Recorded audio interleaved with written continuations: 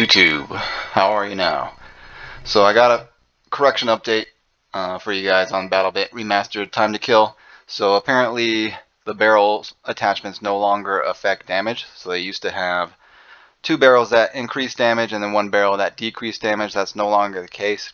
Um, I didn't see anything in, in the patch notes previously saying that they were going to be changing that, but there was mention of them adjusting how some of the attachments worked in one of the most recent updates. So I guess that's covered under that section. So no more damage changing barrels. So that does shake things up quite a bit. So I redid this chart, uh, this time to kill chart for all the weapons. They also reclassified a lot of the weapons as well, putting them into different categories. Um, so I'm not sure how that's going to change things. I would assume that's because certain classes can only use certain types of weapons. So redid the whole chart. Uh, no more damage increasing barrels. It's all sorted by the different classifications here. So I also did, so this is comparing all the different weapons together because uh, I did quite a few charts to get this together since there's so many different classes now and this just shows how everything stacks up against each other.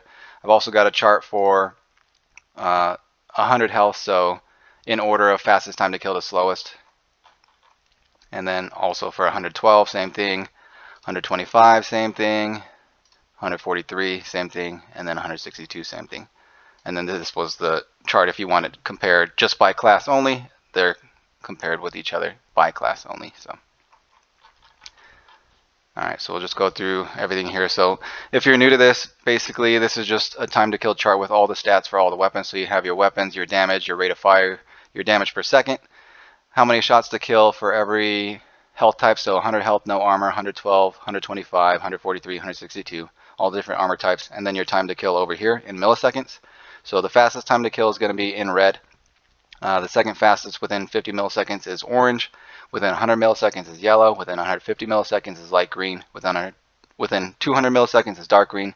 So on and so forth, all the way down to the bottom. So if it's in black with uh, different colored numbers, that's pretty bad. This is 450 milliseconds to 700 milliseconds slower than the fastest time to kill is not competitive at all. So basically just don't want to don't want to use those. So that's how it works. So we're just going to go through everything now um, and see how it all breaks down because it does shake things up quite a bit.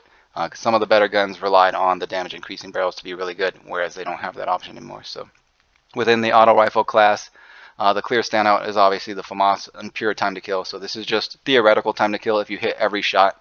Uh, that's not always going to be the case based on recoil, uh, the range, movement of the enemies, all that kind of stuff. So pure time to kill wise, the FAMAS is a clear standout, but it also has pretty pretty insane recoil compared to the other weapons. So everything else is kind of mid tier. AK-74 is decent. Um, ACRs semi decent, low low recoil, but AK-74 is okay. Everything's just basically okay in comparison to the faster killing guns, but these are more for like the longer ranges anyway. They're not the highest DPS fastest killing guns other than the FAMAS really, but more for the long range. And then DMRs, designated marksman rifles, they're all they're all pretty bad compared to the faster killing guns for sure. But these are meant to be more at long range anyway, so picking at people from long range. So time to kill is not terrible at super long range if you're not in a head-to-head -head gunfight. But if you're trying to challenge some of the better guns like SMGs and better assault rifles, you're going to get dumped on with a DMR. So the only really semi-decent one is going to be the SVD kills 112 decently fast, whereas everything else is pretty bad. M M110 is absolutely atrocious. Absolutely atrocious. The SMGs, so submachine guns, uh, clear standout is obviously the Scorpion Evo. It's one of the fastest killing guns. It's the fastest killing pretty much in every category except against 112. So, but it also has outrageous recoil as well. So definitely for only close quarters. Uh, a lot of these SMGs have pretty early damage fall off ranges too. So they used to have a lot farther damage ranges, but now they've lowered those damage ranges quite a bit. So only usable really out close range, possibly mid range, but beyond that, definitely not. So Vector's still really good. MP5 still really good for SMGs. The other guns are kind of mid tier. Personal defense weapons, so they reclassified this. It used to be what? The Honey Badger and the Groza, but now it's more in line with some of the SMGs. So all these are are, are decent, mid tier. So Not the best, but usable, decent. Some are better than others at different damage types, but they're all all usable. So orange is good. Yellow is decent. So for the most part, they're pretty good. The only not great one is the P90, but that has 50 round magazine. So and it's still not terrible either. Still within 75 milliseconds of the fastest fastest PDW. So not terrible there. Uh, you got battle rifles here. So I saw that the the snipers can now use battle rifles as well. They moved the G3 in here as well. That used to be under the DMR section, but pretty terrible compared to the other the battle rifles. So the FAL is obviously going to be the standout here. He used to be really really good with that damage increasing barrel, so it's not as good as it was before because this is just the base values, but still very good up against 100 and 112 especially.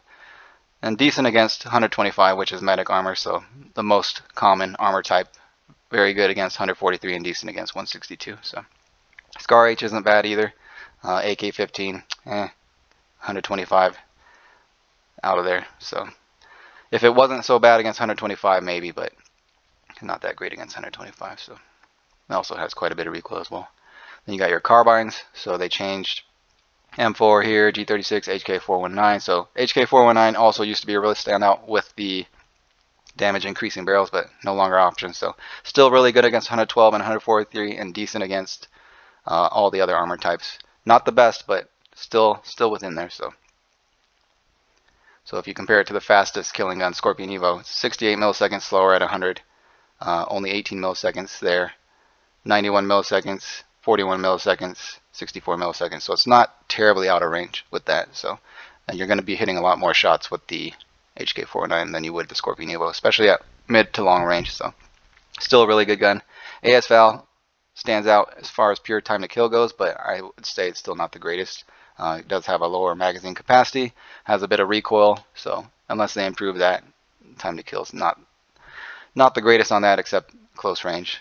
Groza is good, but yeah, all semi mid tier. Some better than others at certain things, but recoil matters as well. So like the G36 C is pretty good too. So, I mean, if the recoil is better than the HK419, you might want to choose that over that, but I think their recoil is about the same.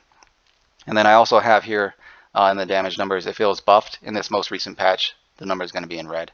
So if it changes anything, improves shots to kill, improves time to kill, uh, it's going to be a red. But the only nerf was the HK419, so that's in gray, but that doesn't affect time to kill there. So then you got your light support guns with the new RPK-16 and then your LMG. So L86A1 stand out there, the fastest pure time to kill, but it also has quite a bit of recoil. RPK-16 is decent against 112 and 125. Not the greatest against the other armor types, but most of the LMGs aren't really the fastest killing guns anyway. MG36 is good against 100, but not the greatest against other ones. M249 is okay. And then Ultimax 100's not the greatest either. But they do have slower handling. They're meant to be kind of hanging back, holding down lanes with sustained fire since they have those larger magazine capacity, but they're just not pure time to kill monsters, you know? And then you have your pistols down here. So your semi-auto pistols, your full auto pistol, Glock 18, and then your heavy, heavy caliber pistols here. Obviously, they're not the fastest time to kill weapons either by comparison, but they're okay. So I mean, it really depends what you prefer. So like the MP4 443 is a good choice against no armor, and then the highest armor, not the greatest against anything else. M9's decent against 125 armor, so medic. So those are the most common armor types you see. So could choose that. USP's decent against 112, but a lot worse at some other ones. So and then the Glock decent against 112 not the greatest there, but it's also full auto, so easier to use. And then the heavy pistols. So they can be really bad if you're hitting body shots. You want to go for those headshots. Obviously, that's going to make time to kill a lot faster. So you can get one-shot headshot kills with the Deagle and RSH-12 within that first damage drop-off.